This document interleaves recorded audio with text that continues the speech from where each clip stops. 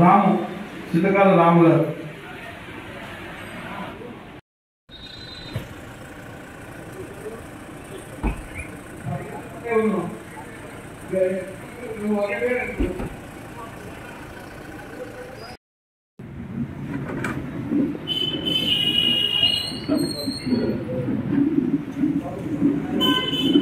మండల కాంగ్రెస్ అధ్యక్షులు ప్రజాప్రతినిధులు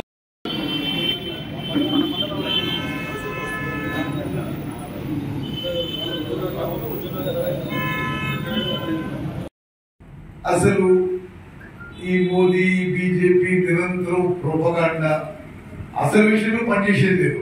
అక్కడ మోదీ గారు ఇక్కడ కేసీఆర్ గారు ఎప్పుడు ప్రొపగాండ ఒక మోసపూరిత ప్రచారం. ఆయన రెండు వేల సంవత్సరానికి రెండు కోట్ల ఉద్యోగాలు ఇస్తున్నాడు. ఈయన లక్ష ఇంటికో ఉద్యోగం అన్నారు. ఇంటికో ఉద్యోగం ఇచ్చలేదు ఊరికో ఉద్యోగం ఇచ్చింది ఆయన రెండు కోట్ల ఉద్యోగాలు ఇచ్చి ఇచ్చే దేవుడు ఉన్న ఉద్యోగాలు పోతున్నాయి నిరుద్యోగ సమస్యలో ఇద్దరు పూర్తిగా విఫలమైనరు పెరుగుతున్న ధరల విషయంలో కూడా పూర్తిగా విఫలమైనరు జనంలో తీవ్రత వ్యతిరేకత వస్తుందనే గ్యాస్ సిలిండర్ ఇప్పుడు తగ్గించారు పెంచుతూ పోయి పెంచుతూ పోయి పెంచుతూ పోయి ఆకాశాన్ని అందిన తర్వాత ఇప్పుడు ఎట్లుందంటే నాలుగు వందలు ఉన్నదాన్ని పదకొండు వందలు తీసుకుపోయి రెండు వందలు తగ్గిస్తారట. భారతదేశంలో నేను సుదీర్ఘకాలం రాజకీయం చేసిన విషయం తెలుసు.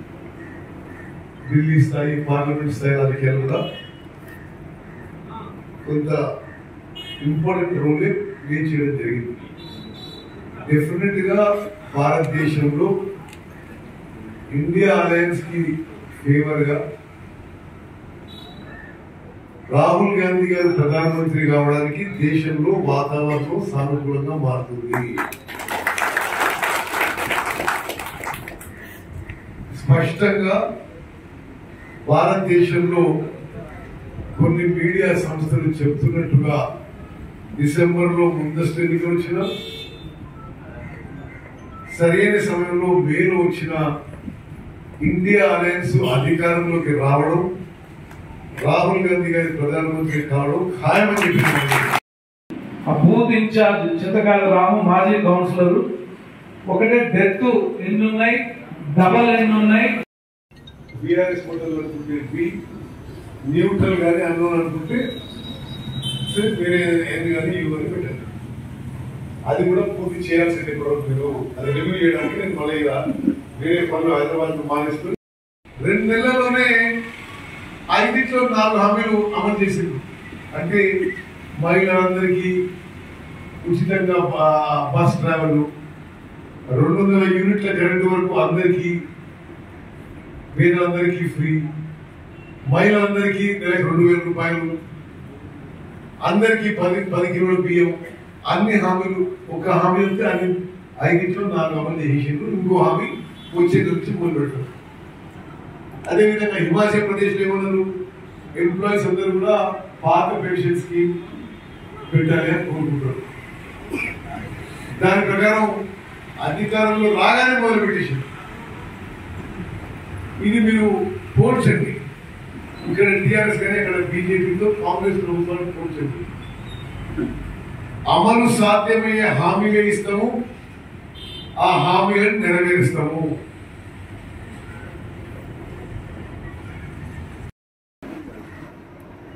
కాంగ్రెస్ పార్టీకి సానుకూల పవనాలు వీస్తున్నాయి. ఎస్ రైట్ కాంగ్రెస్ పార్టీ చాలా రాష్ట్రాల్లో గ్యాస్ సిలిండర్ వస్తే చాలా తక్కువ ధరకి ఇస్తామని స్పష్టమైన హామీ మేనిఫెస్టోలో ఉండబోతున్నది. సరే దేశ పరిస్థితి గురించి మరి వస్తారు. సో ఇండియా అలయన్స్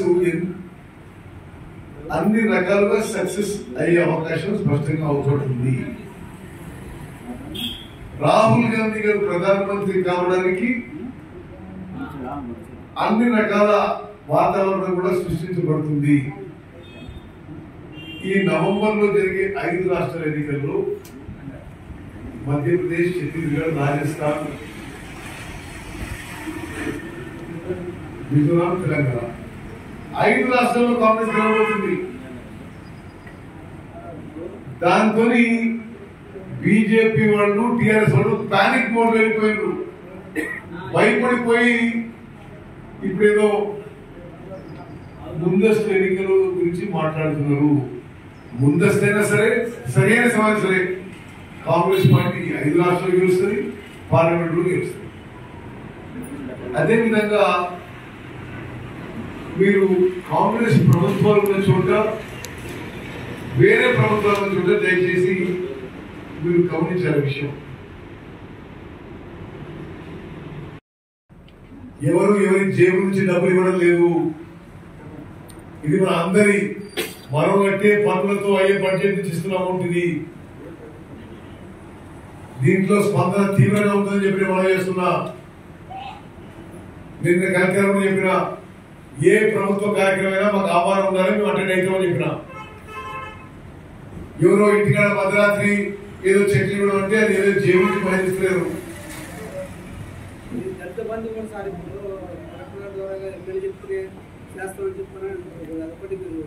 చెప్పండి. మేమేం డిమాండ్ చేస్తున్నాం అంటే దళిత బంధువులు దళిత అందరికీ ఇవ్వాలి. ఎందుకు ఈ మోసపూరిత మాయమాటలు ఎవరినో మోసం చేయడానికి దళిత బంధువులు అందరికి ఇవ్వాలి బీసీ బంధువులు అందరికి ఇవ్వాలి ముస్లింలకి సబ్సిడీ నూటి నూరు శాతం అందరికి ఇవ్వాలని డిమాండ్ చేస్తున్నాము. మరి తొమ్మిది నెలల పాటు మరి ఎమ్మెల్యేలు దోషించారు కదా మరి జేబుచ్చి వచ్చినది. మూడు ఎకరాలని చెప్పి దళితులకి గిరిజనులకు అంటారు. ఈ కాన్స్టిట్యూన్సీ లో ఒక్కరికి కూడా ఇవ్వరు. కానీ టీఆర్ఎస్ ఎమ్మెల్యేలు మాత్రం మూడు వందల ఎకరాలు ఆక్రమించుకుంటారు. అవునా? కదా మూడు ఎకరాలు ఇవ్వలేదు మూడు వందల ఎకరాలు ఆక్రమిస్తున్నారు డబుల్ బెడ్రూమ్ ఇవ్వలేదు బజెట్ చెప్తున్నాడు విధంగా తెలంగాణలో కూడా ప్రజలు ఇప్పుడు టిఆర్ఎస్ ప్రభుత్వాన్ని దించేసేయాలని కాంగ్రెస్ ప్రభుత్వాన్ని గద్దె ఎక్కియాలని గెలిపేయాలని చాలా ఆతృతగా ఉన్నారు. ఒక కాంగ్రెస్ వేవ్ మొదలవుతుంది. ఒక నిశ్శబ్ద విప్లవం మొదలవుతుంది. నేను గతంలో చెప్పినా మళ్ళీ చెప్తున్నా. రాబోయే శాసనసభ ఎన్నికల్లో కాంగ్రెస్ పార్టీ తెలంగాణలో డెబ్బై సీట్లు ఖాయం. డెబ్బై సీట్లు ఎక్కువైనా గవర్నమెంట్ ఫామ్ చేయడం ఖాయం. ఉమ్మడి నల్గొండ జిల్లాలో పన్నెండు పన్నెండు గెలవడం ఖాయం. హుజూర్ నగర్ కోదాడు యాభై వేల మెజార్టీ పై సీట్లు గెలవడం ఖాయం. మరి మీరందరూ కూడా గ్రామ శాఖ అధ్యక్షుడు రవీందర్ రెడ్డి గారు.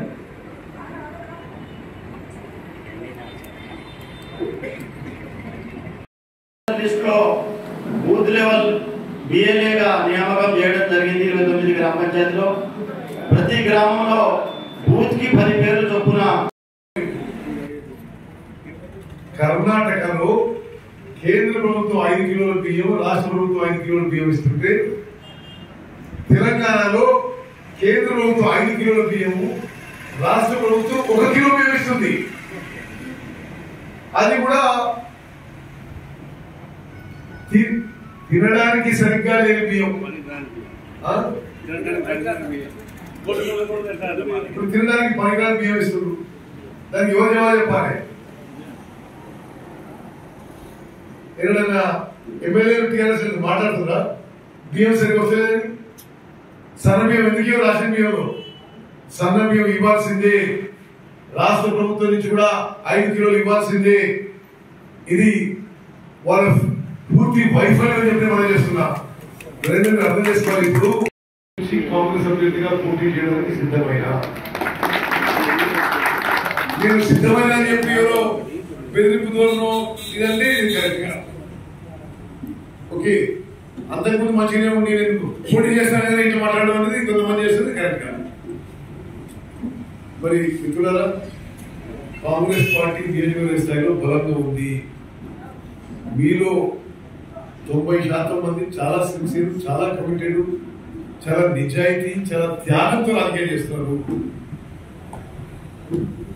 కొంతమంది అట్లా ఉండని వాళ్ళు దయచేసి మనం ఇది ఏమైనా విభేదాలు ఉంటే పక్కన పెట్టుకొని ముందుకు పోదామని చెప్పి అప్పీల్ చేస్తూ సరే కాంగ్రెస్ పార్టీ రెండు నెలల్లో కర్ణాటకలో ఐదింటిలో నాలుగు హామీలు అమలు చేస్తే ఇక్కడ టిఆర్ఎస్ ప్రభుత్వం తొమ్మిదిన్నర ఏళ్ళలో మీరు రెండు వేల పద్నాలుగు రెండు వేల పద్దెనిమిది హామీలు చూస్తే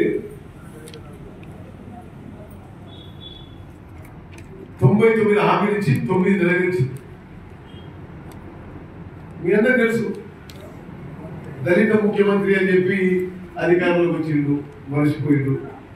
ఇప్పుడు ఒక్క మాదిగా కూడా క్యాబినెట్లో లేడు. ముదిరాజులకి ఒక్క టికెట్ కూడా ఇవ్వలేదు. దళితులకి గిరిజనులకి మూడు ఎకరాలు అన్నాడు. డబుల్ బెడ్రూమ్ ఇల్లు అన్నాడు. ముస్లింలకి పన్నెండు పది చేసినాడు. మరి ఏవి అమలు చేయలేదు. అదిగాక చాలా విచిత్ర పరిస్థితుల్లో ఇదేదో వాళ్ళ జేబు నుంచి డబ్బు పంచిపెట్టుకున్నట్టుగా ఎమ్మెల్యే క్యాంపు కార్యాలయంలో చెక్కుల పంపిణీ తీవ్ర నిరసన తెలియజేస్తున్నాము. ప్రభుత్వ కార్యాలయంలో